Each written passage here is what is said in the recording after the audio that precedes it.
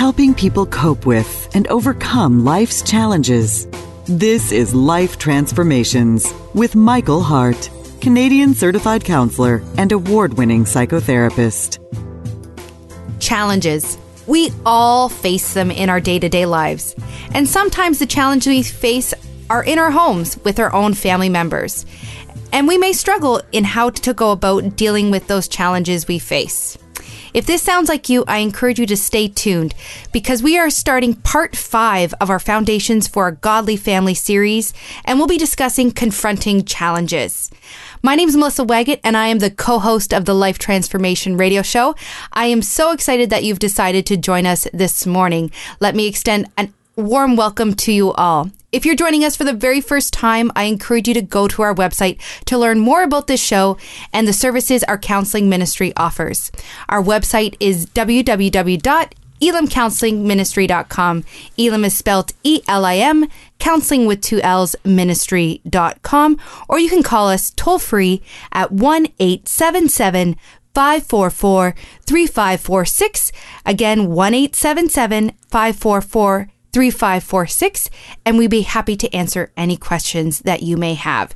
So I am not by myself this morning. Lucky for me, in studio with me is Michael Hart. He is the director of Elim Counseling Services, and he joins us each and every week to share his expertise as a certified psychotherapist as we explore interesting topics and interesting topics with a biblical lens um, and looking through these relationship and mental health issues with a Christian focus, and today is no exception. So, Michael, I am so excited to have you in studio again with me.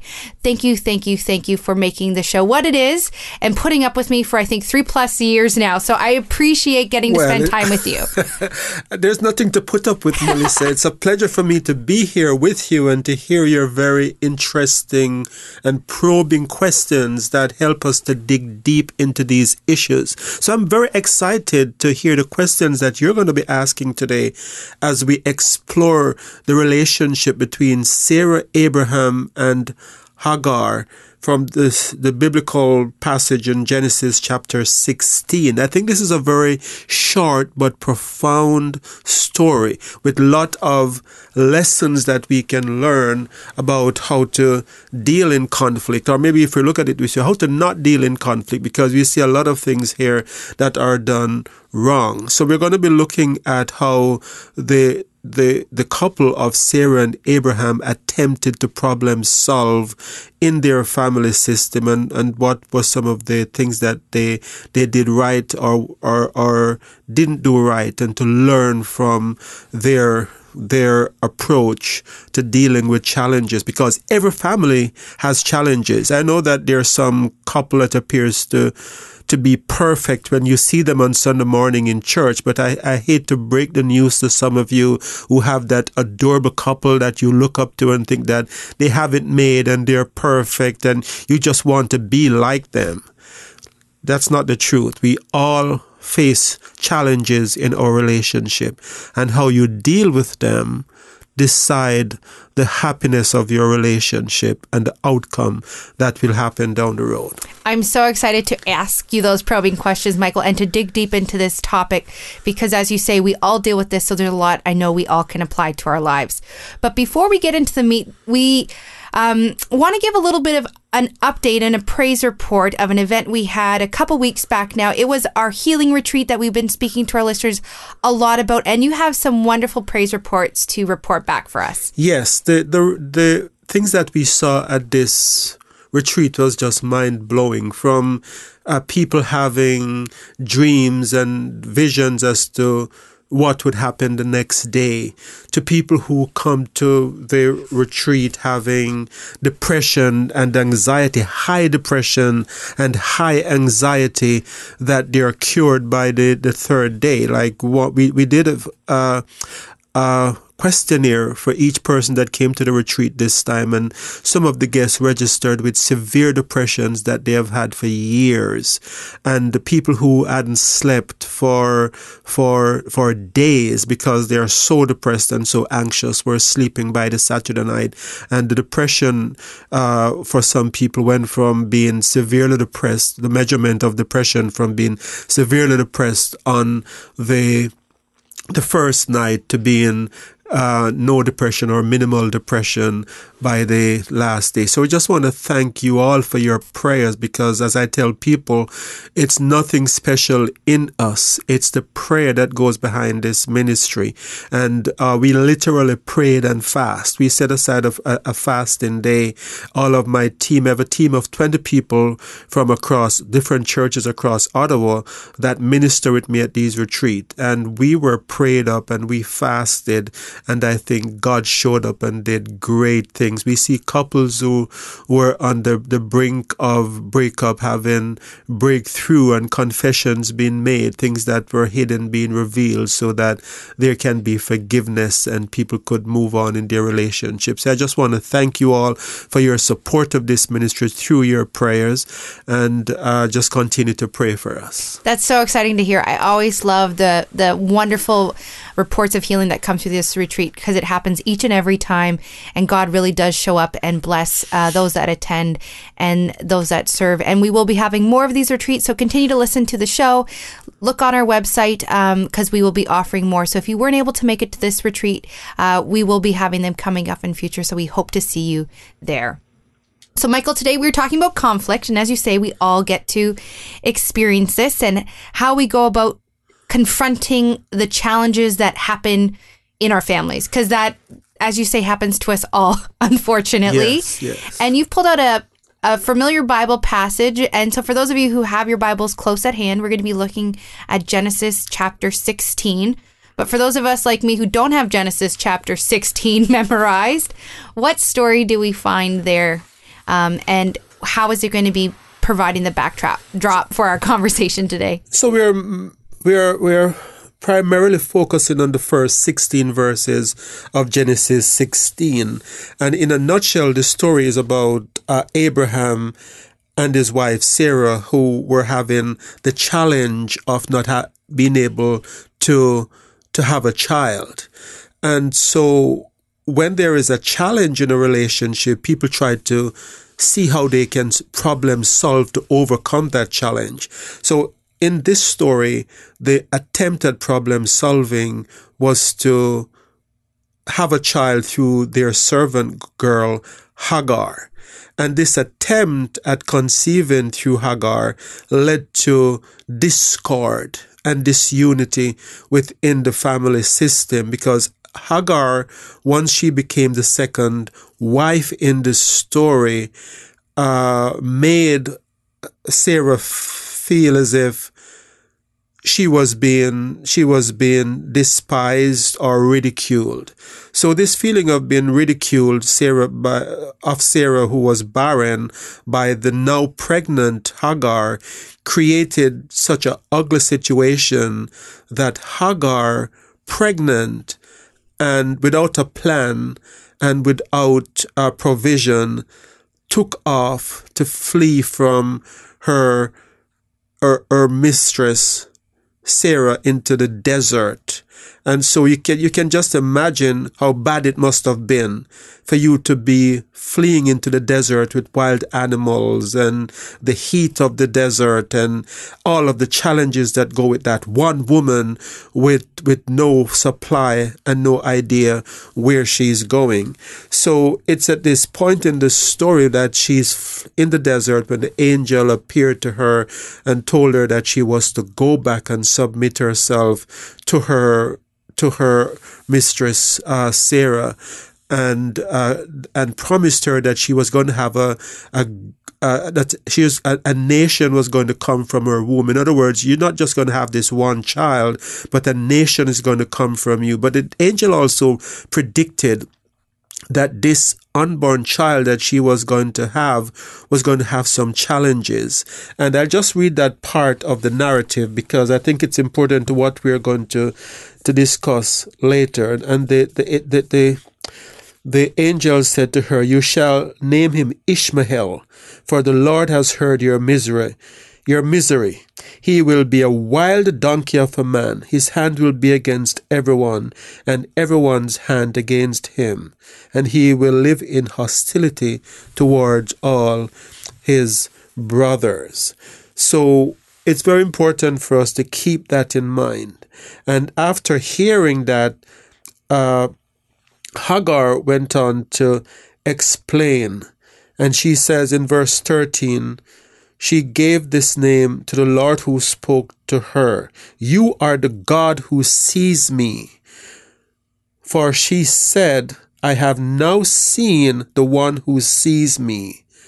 That is why the well was called Bir Laharohai. It is still there between Kadesh and Bered. So when you think of this story of this woman, this, this slave girl, Hagar, who is now saying, I have seen the one who sees me. It speaks of a profound spiritual relationship that she's having in the midst of her of, of her adversity, in the midst of her challenges, and she's using the name Jehovah Rahai, Rahai, meaning the God who sees. And it's a good thing for us to keep in mind as we go through challenges that when you're at your lowest, when things seem the worst, when you have no answers, God sees and God hears and you are not forgotten. So it's very important for us to keep that in mind as we as we go through the rest of this story and as we are we are, we, are, we discuss challenges.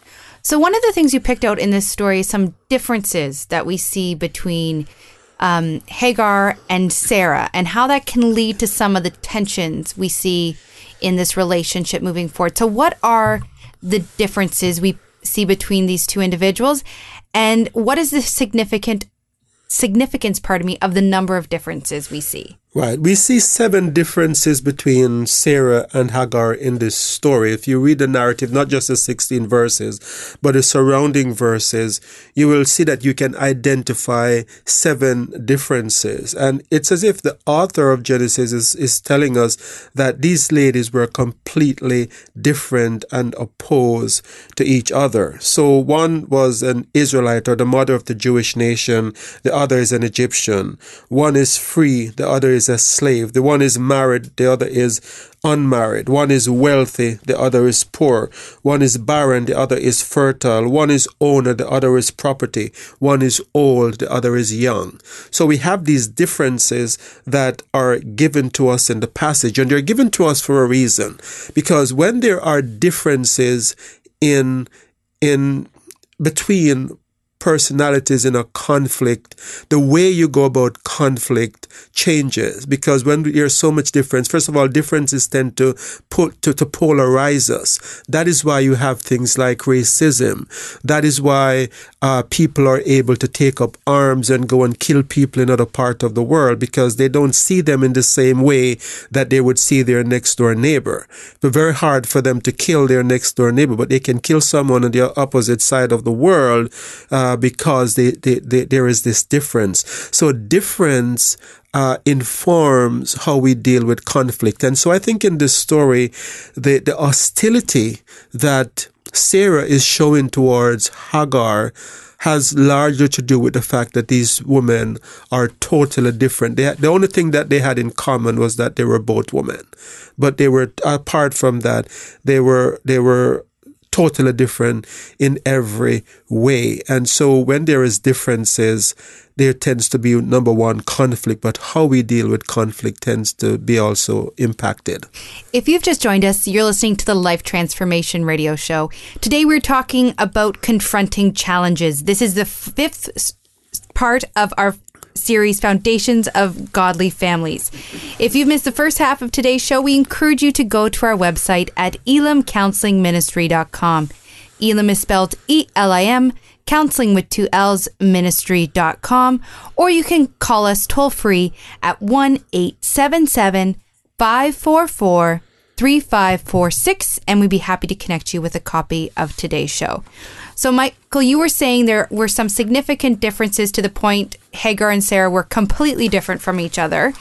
How do we go about overcoming those differences when we're facing conflict or having a challenge in our relationship? Because presumably we don't have the exact same people robot copy clones of each other in our families or in our relationships. If you do, you're not living in my world. for the most part, there's going to be differences that arise. So how can we go about bridging those gaps? I think a lot of the hostility and problems, if we if we look at it from a global perspective, could be avoided if we see our, ourselves as part of one big family.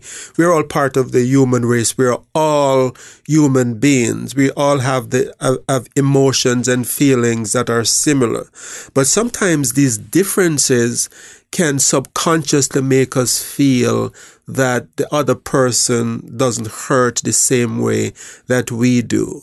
And so when Sarah is mistreating Hagar, there might be something in her psyche, something in her mentality that uh, dehumanizes Hagar uh, in Sarah's mind so that she can be so harsh with her. And as I said at the beginning of the show, this treatment must have been severe for one woman to one pregnant woman to flee into the desert with her unborn child because of how she's treated.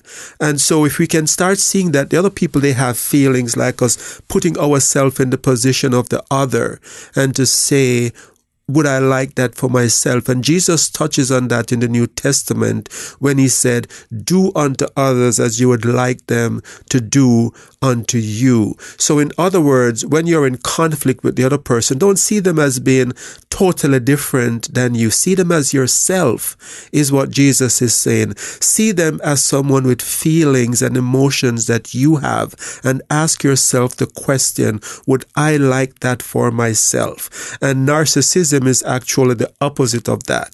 Narcissism, an extreme form of self-centeredness, say it's all about me, it's all about my needs, and I think we see some very selfish uh, attitude in Sarah, the way she's treating this slave girl who didn't ask to get pregnant, didn't ask to be drawn into this this conflict, but it was imposed on her, and then she's mistreated on top of it. I think this is also a sober uh, warning to all of us, uh, realization to all of us that godly people can sometimes do some very dreadful things. And I know we idealize Sarah and Abraham and we give our children their names, but it's also important to see that they're human beings. And if you lose sight of the fact that the person who is on the, the, the opposite side of your argument is like you, then you can do dreadful things without realizing that this is not what you would want to be done to you. That that's so so profound, and I think such a good life lesson, especially in today's time where we other people so easily, and it becomes us and them, and we we lose sight of the humanity in that person across from us. Mm-hmm, so what a good mm-hmm, message there. Mm-hmm. The other thing, um, when you bring up the word challenge, I think for some people they think challenges is sort of a problem that needs to be overcome. And so, do we see any problem solving in this story that can kind of give us some insights to how Abraham and Sarah and Hagar faced the challenges before them? Well, I, I think one of the, the, the first uh, attempt at, at, at problem solving we see was how Sarah approached solving this problem, and it's it's what I call short-sighted problem solving. So short-sighted problem solving is when you go about a situation, and and we see three different approach to problem solving. Maybe I should start by saying that, and we look at the first. So if you're if you're taking notes, and I know some of my listeners do, there are three things that we are going to be looking at, and the first is the short-sighted attempt at problem solving, and this is where you make an emotional decision based on the the emotions that you're having about the, the, the challenge that you're facing. It's not a well thought out situation. It's a reaction to a problem. So when Sarah decided that I'm getting old and I need to have a child and Hagar is here. Why don't you, and said to Abram, why don't you take her, uh, as your wife and have a child through her? Sarah is not really thinking about a number of things like how is this going to affect my feelings? When Abraham becomes attached to her and I see the closeness between her and Abraham, am I going to be able to deal with that? How am I going to deal with the, the increased self esteem that Hagar is now going to have, not being a slave, not being merely a slave anymore, but being a second wife? Can I deal with that? And I think this speaks to situations today, decisions that people make without giving it careful thought. An, an example of that could could have been someone who have you're having problem in your relationship. Maybe it's sexlessness in a relationship, and instead of getting professional help, the attempt to problem solving is I'm going to have an affair because I'm not getting it. I'm not getting it from my marriage, so therefore I'm going to get it elsewhere. And so this short sightedness leads to, to the problem being multiplied and magnified and the situation becoming worse. So we see this within the story where this short-sighted approach led to increased problem. And so, what other attempts to problem solve and approaches to problem solving do we see in this story? The second one that we see in the first one is in verse 2 of chapter 16 of Genesis. The second one is in verse 6 of, of chapter 16 where it's avoidance. And so when Sarah came to Abraham and she's angry with Abraham because she's saying, Look, there is a situation here. I'm being ridiculed and you're doing nothing about it. And she's using very strong terms as she's speaking to Abram. And I'll just read read the, the passage here in verse 5. Then Sarah said to Abram, You are responsible for the wrong I am suffering. I put my slave in your arms, and now that she knows she's pregnant, she despises me. May the Lord judge between you and me. So she's angry at Abraham. And what did Abraham do? Abraham placed the responsibility on Sarah. He said, Your slave is in your hands. Abraham said in verse 6, Do with her whatever you think best. So we have this problem solving uh, approach of avoidance, avoiding the problem instead of dealing with passing, passing the buck to someone else. So in today's uh, uh, home environment, it could be a mother and a father who's having a problem with a teenager, and instead of the, the, the, the, the dad dealing with the teenager, it says, it's, you should deal with this. You deal with the issue because you created it or you're responsible. I don't want anything to do with it. So what is very strange in this story that the last show that we did, not the last show, but I think two shows ago when we looked at conflict and, and how Abraham, when there was conflict between Abraham and Lot's herdsmen, that he was an example of how to deal with conflict. He called his nephew Lot and he had the discussion and there were hundreds of herdsmen probably on both sides. So Abraham in the business sphere of life is a very good problem solver. But when it comes to two women within his household, he's running away from conflict and he's not dealing with it. And I'm so glad you brought that up because as you're describing the story, I, I, was thinking back to those shows too. And I think it's a great example that there may be spheres of your life you are excellent at problem solving. But for whatever reason, there may be this area, whether it's your family or elsewhere, where it just doesn't seem to go in the same way. And why is that? So why can Abraham deal with these herds, deal with his his nephew in his face, basically saying, um, "I want all your stuff," and it's like could have gone to blows why could he deal with that so effectively, but something with people who are probably even closer to him? Why was that so much more of a challenge for Abraham? So, in a nutshell, two women are are scarier than 500 herdsmen. Mm-hmm. We're tough, man. We're tough. I'm. We won't fully unpack that there, but but I'm. But well, I think I it's think, a good thing to explore, though. Because yeah, I think what's happening here is that when you're emotionally involved mm. and you're too close to a situation, my feeling is that Abraham is caught between Sarah and Hagar. And he's probably having feelings for Hagar and, and he's, he's loyal to Sarah. And for him to intervene in that situation and do what Uh, Sarah is asking him to do, it's going to seem as if as if he's taking sides. And so instead of standing up and say and being fair to, to, to and say maybe Sarah, you're doing things that you shouldn't be doing, even if he's going to incur her wrath. And the way you're treating Hagar is not right. And maybe say to Hagar, on the other hand, you need to have some respect to Sarah. Instead of taking that stand, he's trying to play it safe. He doesn't want to be seen as the bad guy. And unfortunately, sometimes parents do that in trying not to to appear to be the bad parents. And it just leads to the situation magnifying as it did in this story. So I think we, we have a situation here where we, we, we see that this approach to problem solving led to the situation blowing up and becoming worse. And, and so the, the third thing that we see in, in this story, the third attempt at problem solving is, is what a, a psychological mechanism that that is called displacement, also in verse 6. Because remember, I said earlier that Sarah is angry at Abraham, but who does she take out her wrath on after Abraham decided not to do anything? She took it out on Hagar.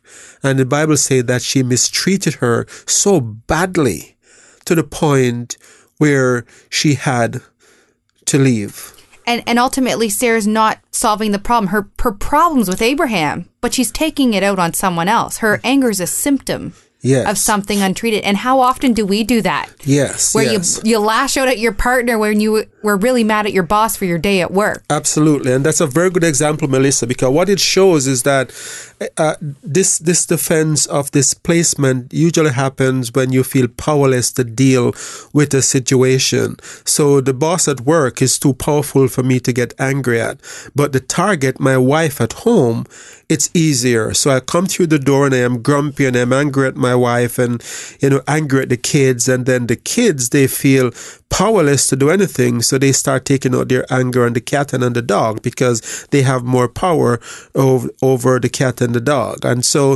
it's it's that kind of a of a displacement of anger where the real target of anger is not being discussed. And we have some other gems, Melissa, in this show that we want to talk about, such as the significance of the angel visit and why the angel told her to go back, and the, the birth of Ishmael and why Ishmael, this unborn child appears to be cursed by this angel because there's a lot here going on in this story that is psychological in nature and not necessarily how we read it the first time. And I want to look at those issues in depth. So I'm not going to rush through it today in this show because I see that we only have about a minute or a minute and a half left. So we're going to do this show in two parts. We're going to come back to that next week and do that in, do that in two parts. I'm so excited to join you again next week.